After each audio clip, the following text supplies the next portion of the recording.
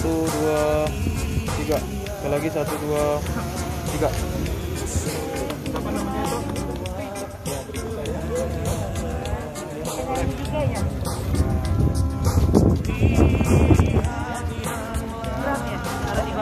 Ya? Ya? Ya?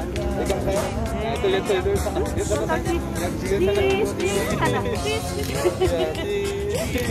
Oh. Tuhan yang memberkati kita semua.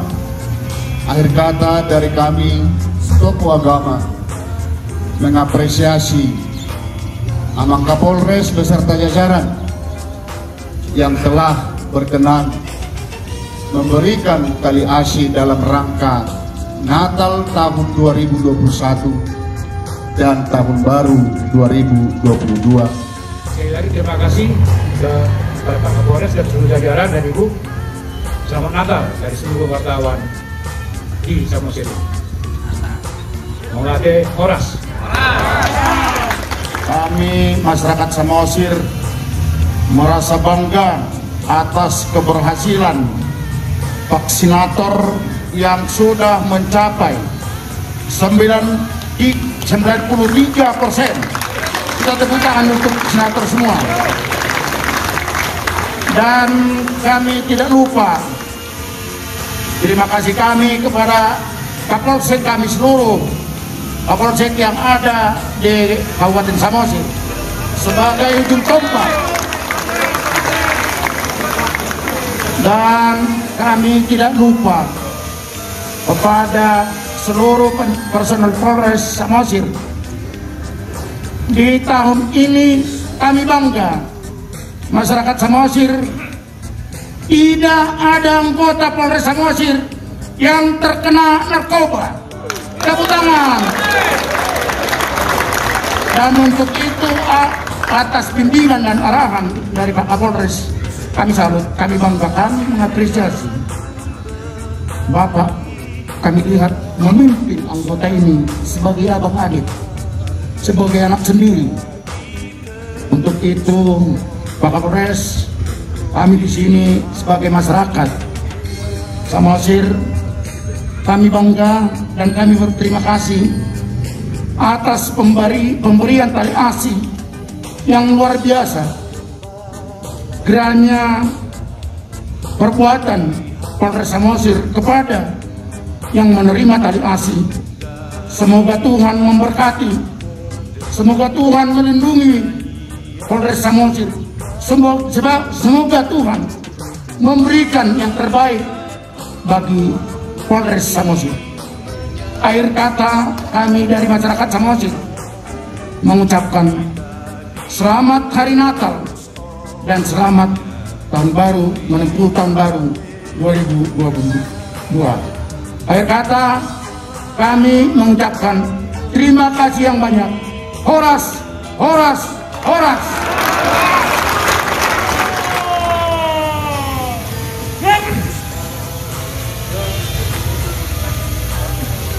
Assalamualaikum warahmatullahi wabarakatuh. Salam, salam sejahtera bagi kita semua. Dan sama-sama kita hormati para tokoh agama, kemudian tokoh masyarakat, ada dari teman-teman insan pers, kemudian Ibu Warakauri, Purnawirawan, Bapak Ibu, tenaga vaksinator, tenaga kesehatan, para PJU, Bawaka, Kabak, Kasat, personil Polres, ASN, PHL yang saya cintai dan saya banggakan. Dari Koramil, dari Lapas, para perwakilan yang tidak bisa saya sebutkan satu persatu. Pertama-tama, marilah kita panjatkan puji dan syukur pada Tuhan Yang Maha Kuasa Hari ini Selasa 21 Desember 2021 tidak terasa di penghujung akhir tahun kita masih dalam keadaan sehat. Dalam kesempatan ini saya atas nama Kapolres Samosir beserta jajaran Polres dan Polsek serta Bayangkari mengucapkan terima kasih dan penghargaan setinggi-tingginya buat para undangan kami yang sudah hadir. Mohon maaf mungkin tadi agak menunggu lama karena kami baru selesai melaksanakan gladi resik Natal Oikumene Polres Samosir yang akan kami laksanakan besok jam 5 sore di AKBP Bolon Pamuran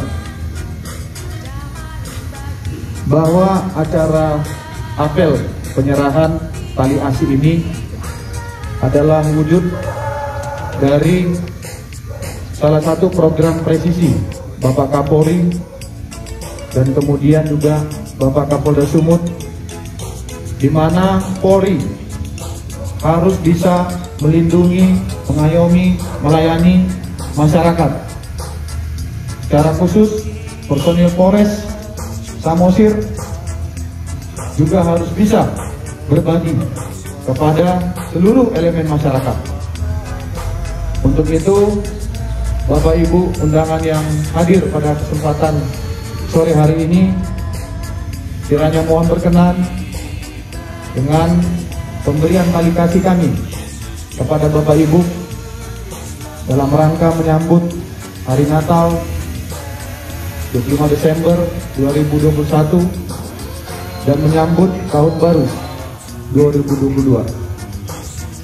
Kami juga berterima kasih buat tenaga kesehatan, tim vaksinator, seluruh personel Polres, Polsek, ASN, PHL, dan seluruh masyarakat termasuk TNI dalam hal ini Babinsa, Babin Kamtipmas, para Kapolsek yang setiap hari sudah melaksanakan program percepatan vaksinasi. Bahwa saat ini Kabupaten Samosir sudah menjadi level 1 atau zona hijau dan capaian vaksinasi sudah sebanyak 93 persen. Tepuk untuk Kabupaten Samosir.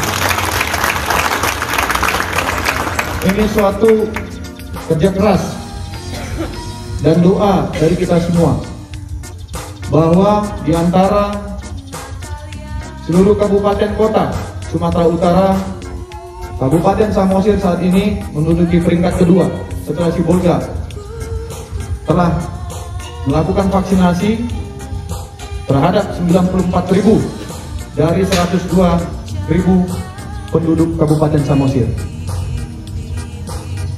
Namun kita tidak boleh cepat puas karena sesuai anjuran pemerintah masih ada kemungkinan ya virus baru yaitu Omikron yang saat ini ya sudah ada di Indonesia maupun di luar negeri. Untuk itu, Bapak Ibu sekalian, mari kita tetap menjaga protokol kesehatan. Kita tetap menjadi duta-duta untuk mengingatkan masyarakat atau keluarga kita sehingga dapat memutus virus COVID-19 bahwa dalam instruksi Mendagri nomor 66 tahun 2021 kemudian instruksi Bupati di Kabupaten Samosir kita diminta seluruh masyarakat untuk tetap mematuhi protokol kesehatan. Dan kita tetap mengingatkan masyarakat yang belum divaksin dosis 1 untuk melakukan vaksin dosis 1 itu mungkin dari kami. Kiranya kita dalam keadaan sehat kita tetap semangat dan kita tetap dalam satu persaudaraan.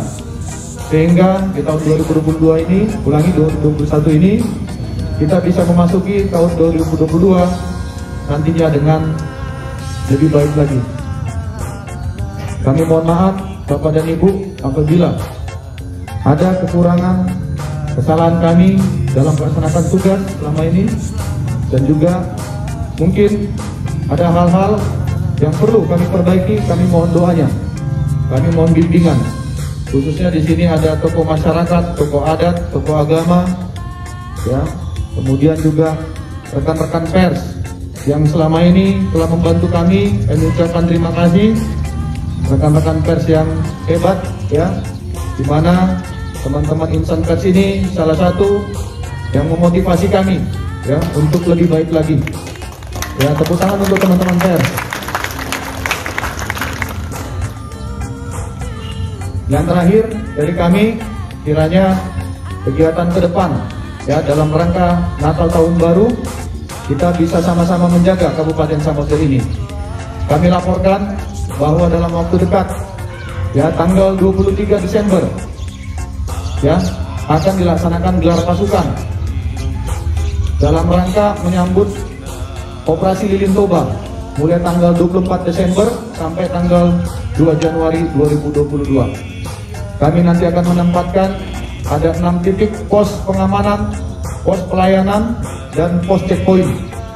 Di mana di titik-titik pos tersebut ada tim terpadu dari TNI, Polri, tenaga kesehatan, dinas perhubungan, satpol pp, ya, tenaga kesehatan dan lain-lain. Nah ini mari kita saling menjaga dan kemudian apabila ada hal-hal yang menonjol, ya tolong diberikan informasi kepada kami. Sekali lagi terima kasih, tetap semangat dan berdoa Tuhan memberkati kita. Selesai.